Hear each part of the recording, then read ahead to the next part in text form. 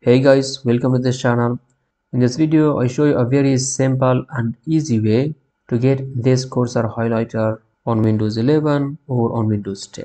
Because unfortunately, OBS Studio does not have a cursor highlighter. You see this uh, small tiny application? This is this cursor highlighter. Here you can control everything, the width, the height, the stroke color, the fill color, the thickness, control whether to display stroke or whether to fill or not.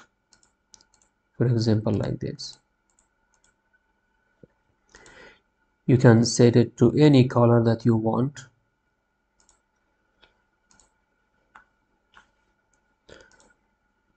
For example, this color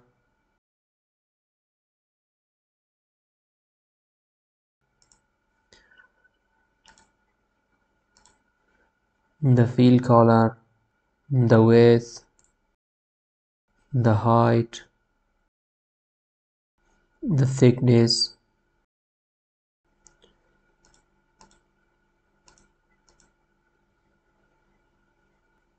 To get this application, go to the search, type here store, Microsoft Store, click on it,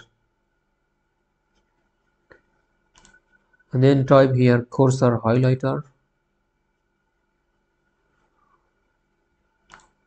Filter apps.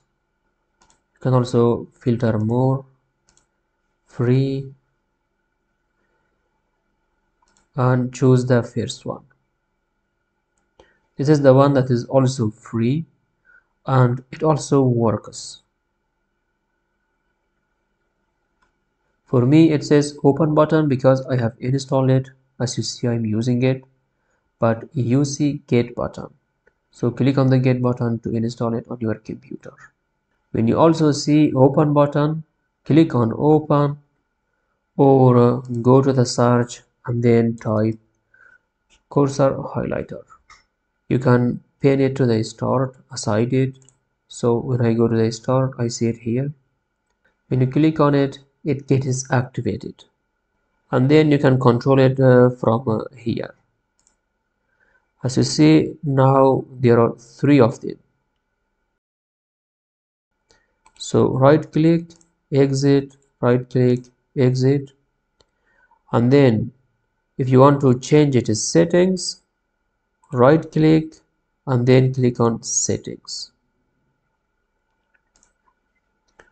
When you click on the settings you will see this. Now it was open. Right click settings to change the settings. For me 30 is enough so